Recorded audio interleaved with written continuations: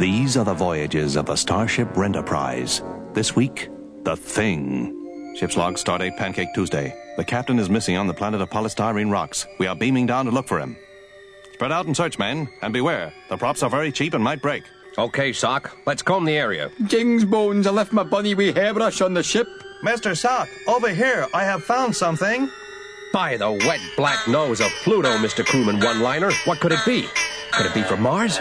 Or Rowntree's? Don't shoot, Bones. I shall try to communicate with it through my amazingly mental powers. Oh, it looks like I a sperm with rabies. I'm getting something. This is some sort of parasitic life form. It lives upon another being, a sort of bulbous blob creature with the brain of a moose. Face is ready. It could be nearby. It wants to go back. Back to the grotesque, blubbery horror that owns it. The aging, bad-tempered lump that bought it. All right, all right. Put a sock in it, Sock. I've heard enough.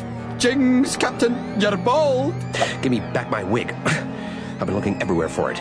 Okay, beam me up, Spotty. Oh, no, no! I said beam me up, not beat me up. Oh, oh, That is illogical, Captain Burke. oh shut your face, donkey ears.